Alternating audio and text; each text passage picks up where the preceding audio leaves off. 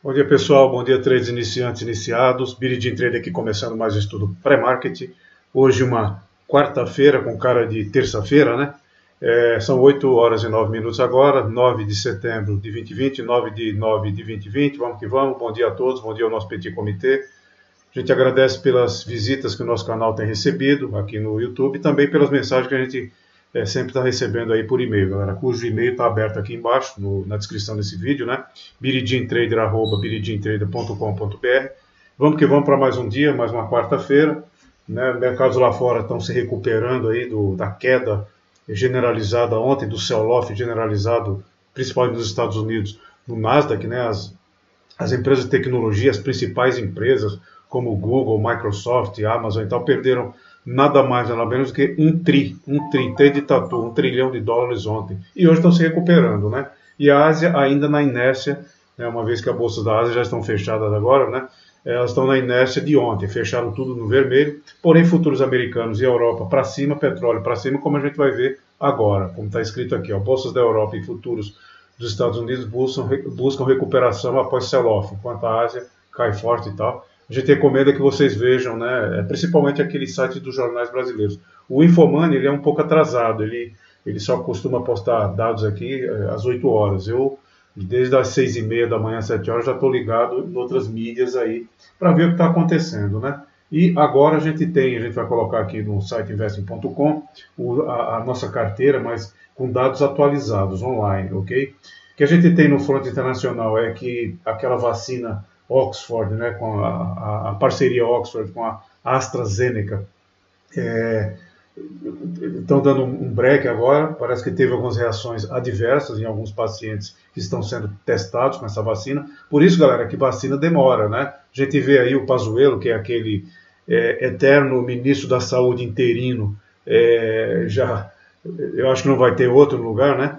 É, primeiro que acho que ninguém de bem vai querer assumir um ministério, Ministério da Saúde com o chefe que existe hoje lá. Então, ele falou que até janeiro é, vacinaria toda a população no Brasil. Aí vem essa notícia desse, desse é, vamos dar um tempo aí nessas pesquisas das vacinas de Oxford junto com a AstraZeneca, como eu acabei de falar. Então é isso aí. Aqui ainda no fronte doméstico, a gente tem agora a questão do, do preço dos alimentos, né? Quem vai ao supermercado tem visto aí a, a escalada dos preços, né? O litro de leite que estava menos de três reais, eu, eu, esse final de semana eu vi por cinco reais em alguns supermercados. E é, não, não, o leite é apenas um, um, dos, um dos itens, né? Apenas um dos itens da cesta básica. E o governo está é, é, estudando aí abrir importação, importação para alguns itens, principalmente da, da cesta básica, né? Então, é isso aí. Né? Vamos, vamos tocar aqui o nosso dia a dia. A gente tem é que é, é, é, surfar o que aparece na nossa frente, baseado naturalmente né, na gestão de risco, né, de é, comportamental e psicológico, e naturalmente usando as nossas técnicas que a gente tanto fala, que é setup e estratégia. Né? Vamos dar uma olhadinha aqui na agenda lá, lá fora, galera, para começar o dia aqui. Deixe o seu like, ele é de graça, assim como é de graça o que a gente que a gente tem feito por aqui, né? Olha só, antes de falar de agenda, olha a doleta ontem, coisa linda aqui, ó. Abriu num gap up aqui, veio lá na, na faixa do 5400, 54, é que eu tinha cantado aqui, ó, 5405, 5410, deu um quedão, caiu aqui mais de 30 pontos, subiu de novo, caiu o dia inteiro, né? Depois subiu e o mini também abriu num gap down, depois subiu, né? Eu fiz um eu fiz um trade, tomei um stop no 0 a 0, fez um fundo duplo aqui, ó, subiu para caramba, veio no 38.2, ao contrário, desceu. Esse tipo de mercado é o que a gente gosta, né? Do que é muito mais do que esse que fica lateral aqui, ó. Esse aqui que foi depois aí das 15 horas, depois que, que voltou, né, o mercado após o almoço, né? Então é isso aí. Vamos dar uma olhada na agenda, galera. Internacional. A agenda ontem foi vazia, né, como a gente viu, só o boletim Fox às 8h30 que saiu ontem que foi o único item da agenda interessante. Bom, nosso mercado futuros abre às 9 horas, aqui é o site investing.com, que é um site 24 horas, né? tem a parte grátis e a parte paga. 24 horas traz dados do mundo inteiro. E às 9 horas aqui a gente tem um, um, um Short Term Energy Outlook aqui dos Estados Unidos, que é uma, um panorama geral da, da de energia elétrica, é, consumo e e, e, oferta de energia elétrica, né, às 9 horas. Três tourinhos não, não nos afeta muito, mas muito certamente deve afetar o mercado de futuros lá fora. A Bolsa é, na, na, Nova York só abre às 10h30 né, e a nossa aqui abre às 10 horas. Né? Depois o que, é que a gente tem aqui? É, aí às 9 horas, subindo aqui, uh, às 10 horas a gente, tem, a gente tem aqui o índice de preço ao consumidor de agosto, Brasil, dois tourinhos. Né? Tem uma previsão aqui de do anual aqui de, de, de, de 2,4%, né? e o mensal 0,23%, ok? Repito, os preços aí estão estão numa escalada interessante, dos alimentos, né? É interessante do ponto de vista de, toma, de, de, se tomar cuidado, ok?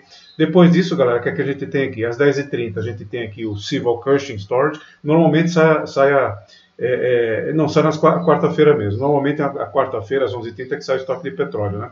Às 11h30 aqui a gente tem uma, o, o, abertura de empregos aqui de julho, né? Três tourinhos, tem que ficar esperto, às 11 horas. Canadá não nos afeta muito, a bandeira do Canadá. Às 11h30 a gente tem aqui um, um, um, estoque de petróleo, dois tourinhos, né?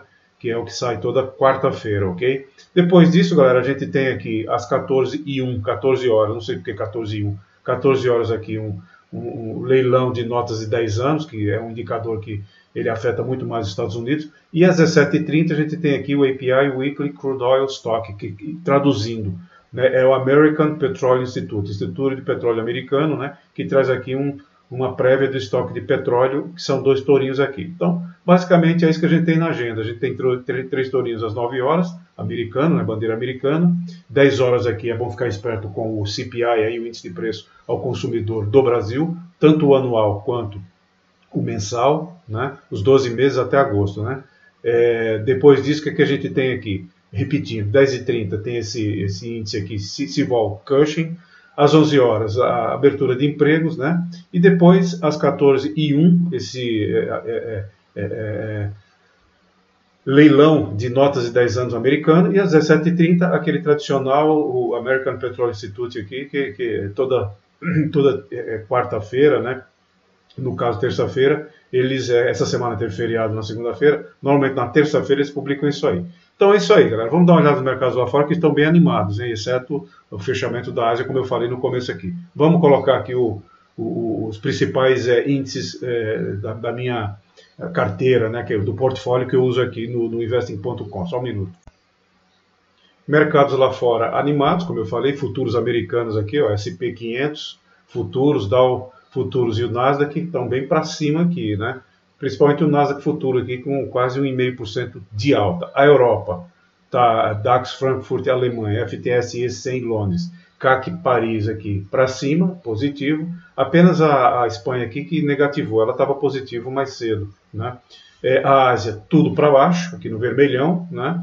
e o petróleo aqui acompanhando o, o ânimo dos mercados lá fora no positivo, o que deverá favorecer as ações da Petrobras na abertura da B3 às 10 horas, que é o nosso mercado à vista por aqui, ok? Por outro lado, minério de ferro no porto de, Dália, né, lá na, na, bolsa de Dália, né, fechou nada mais nada menos do que 3,4 de queda o que deve fazer com que as ações da Vale, nas 10, às 10 horas, na abertura da B3, nosso mercado à vista, abra com gap down, ok? Depois pode recuperar e vai seguir a cotação ao longo do dia. Então, na abertura, pela nossa leitura aqui, é Petrobras para cima, às 10 horas, e Vale para baixo, né? Como a gente pode ver aqui. Só um minutinho, galera.